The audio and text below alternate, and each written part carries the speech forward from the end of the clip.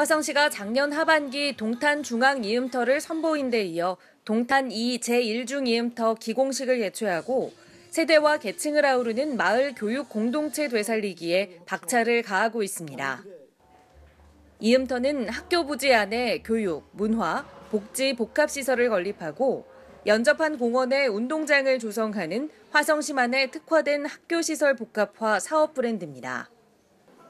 시는 이음터를 활용해 학교와 마을, 사람을 하나로 이어 공동체를 회복하고 특화된 프로그램과 시설을 바탕으로 지역 경쟁력 강화를 꾀하고 있습니다.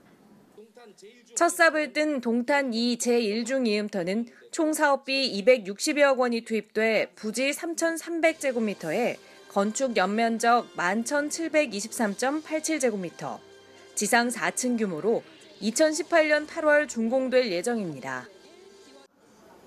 제가 화성시장으로 취임하면서 시민들께 약속한 것이 있습니다. 아이들과 함께 살기 좋은 도시를 만들겠다는 것입니다. 그래서 화성시가 전국에서 가장 먼저 시작한 것이 창의 지성 교육입니다. 화성의 아이들은 지금 창의적인 아이들로 성장하고 있습니다. 여기에서 한 발 더 나가 우리 아이들이 이웃과 함께 더불어 살아감을 배울 수 있는 공간을 만들고 있습니다.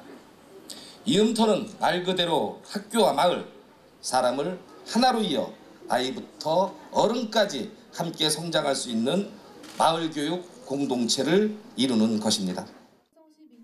앞서 ICT 특화 프로그램을 선보인 동탄 중앙 이음터와 달리 동탄 2 제1중 이음터는 연극, 영화, 미디어 시설이 특화돼 지역 청소년과 주민이 직접 무대에 올라 공연을 선보이고 다양한 문화 콘텐츠를 제작할 수 있는 환경을 제공할 계획입니다.